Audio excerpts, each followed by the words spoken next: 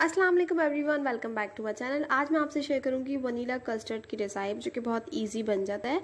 बहुत सारे लोगों ने पूछा था कि कस्टर्ड हम किस तरीके से बना सकते हैं। बहुत सारे लोग कहते हैं कि कस्टर्ड बनाते हुए कुछ मिस्टेक्स होती हैं, जिसकी वजह से गुठलियाँ पड़ जाती हैं। तो इसलिए मैं आज आपको परफेक्ट रिसाइप बताऊँगी। बहुत इजी रिसाइप है वनीला कस्टर्ड की, या कोई भी कस्टर्ड आप बना सकते हैं। मैं यहाँ पे वनीला कस्टर्ड की रिसाइप आप शेयर कर रही हूँ। बहुत इजी रिसाइप है।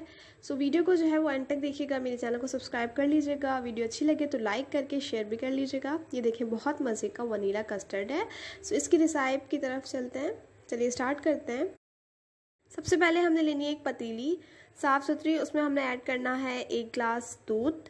एक गिलास दूध हम ऐड करेंगे। उसके बाद हम थोड़ा सा दूध हमने अलहदा कर लिया है कस्टर्ड को मिक्स करने के लिए।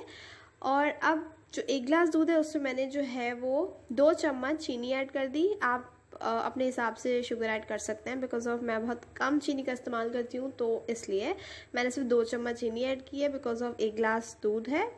अब हमने क्या करना है, इसको मिक्स करते रहना है और चूल्हे की आँच जो है बिल्कुल दरमियानी रखनी है। बिल्कुल मीडियम फ्लेम पे हमने रखना है। ये मैंने निकाल लिया था थोड़ा सा दूध, इसमें हम ऐड करेंगे दो से तीन चम्मच जो है वो कस्टर्ड पाउडर के। ये वनीला कस्टर्ड मैंने यूज़ किया है, आप कोई भी फ्लेवर ले सकते हैं जो आपको पसंद हो।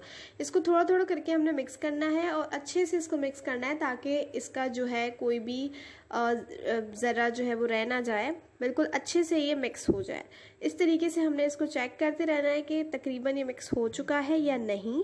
जब आप देखेंगे बिल्कुल अच्छे से मिक्स हो चुका है तो हमने क्या करना है, इसको ऐड करना है मिल्क में। जो मिल्क हमने चूल्हे पे रखा हुआ है, हम उसमें ऐड करेंगे, लेकिन आराम आराम से थोड़ा थोड़ा करके हम इसको ऐड करेंगे। ये देखिए, ये मिल्क हमने रखा हुआ था, इसमें बॉईल आ चुका है। चीनी हल हो चुकी है। इस तरीके से बिल्कुल चीनी हल हो चुकी है। हमने फिर भी इसको थोड़ा सा चम्मच चलाने के बाद थोड़ा थोड़ा करके हमने कस्टर्ड मिल्क जो है, वो ऐड कर लेना है इसमें। थोड़ा थोड़ा हम ऐड करेंगे और चम्मच चलाते रहेंगे। हम एक साथ नहीं ऐड करेंगे बिकॉज़ फिर गुटलियाँ बन जाती हैं। तो इसलिए हमने थोड़ा थोड़ा करके ऐड करना है और फिर चम्मच को चलाते ही रहना है ताकि अच्छे से कस्टर्ड बन सके और बहुत यमियस्ट और गाढ़ा बन सके। सो ये देखिए, हमने थोड़ा थोड़ा करके ये ऐड कर दिया है। इसको हमें मिक्स करते रहना है, चम्मच को हमने चलाते रहना है। लो फ्लेम पे नहीं करना हमने मीडियम फ्लेम पे हमने इसको पकाना है। हाई भी नहीं करना बिकॉज़ फिर दूध जो है, बहुत ज़्यादा ड्राई हो जाएगा। तो इसलिए हमें इसको मीडियम फ्लेम पे पकाना है। ये देखिए, अभी गाढ़ा होता जा रहा है। आपको जितना इसको गाढ़ा करना है, आप उतना कर सकते हैं। तो ये देख सकते हैं आप, मैंने इसको इतना इतना गाढ़ा किया है और ये कस्टर्ड तैयार हो चुका है। आप इसको किसी भी अच्छे से बाउल में ऐड करें, इसको आप जिस तरह से टॉपिंग करना चाहें आप वैसे कर सकते हैं।